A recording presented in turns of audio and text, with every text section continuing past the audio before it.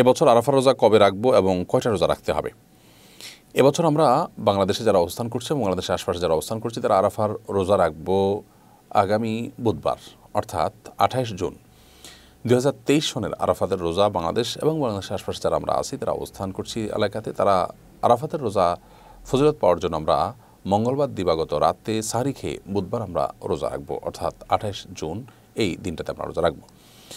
বাংলাদেশের আকাশে যে চাঁদ দেখা গেছে, তার অনু অনুপাতে, তার আলোকে আঠাইশ জুন এটি হয়ে থাকে জিলহজের নয় তারিখ আমাদের জন্য, এ অঞ্চলের মানুষের জন্য।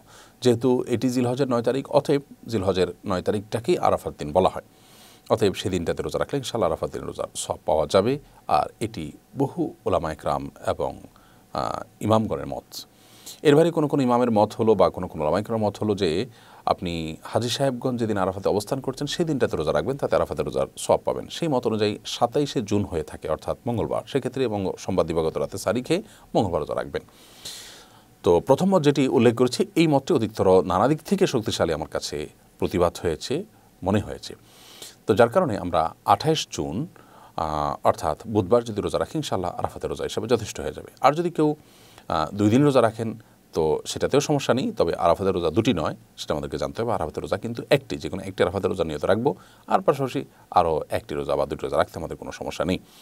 বিশেষ করে নবী করিম সাল্লা সাল্লাম থেকে সোনাবুদাউদ সবিন হাদিস কিতাবে বিষয়টি বর্ণিত হচ্ছে তিনি জিলহজের প্রথম থেকে নয় তারিখ পর্যন্ত প্রতিটা দিনই কিন্তু নফল রোজা রাখার চেষ্টা করতেন। অতএব সেই জায়গা থেকে আপনি দুই দিন কেন আরও বেশি রোজা রাখতে পারলে সেটা আরও ভালো।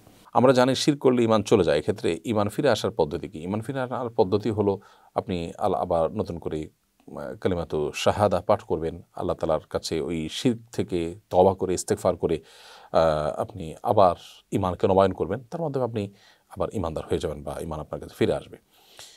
এরপরের প্রশ্ন হলো আমার বারো বছরের সংসার সন্তান আছে, স্বামী পরকিয়া করে।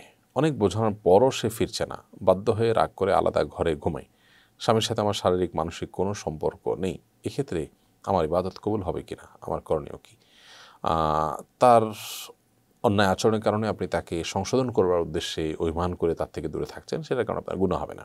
এটা তাকে সংশোধন করবার উদ্দেশ্যে আপনি যদি করে থাকেন, এটা প্রশংসনীয় হবে।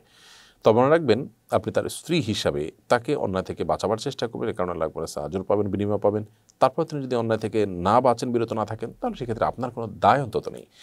এবং এটা নিয়ে আপনি খুব বেশি অরিড হওয়ারও কোনো কারণ কিন্তু নেই। অতএব আপনি আপনার মতো স্বাভাবিক থাকার চেষ্টা করবেন, যদিও বিষয়টা অনেক কঠিন।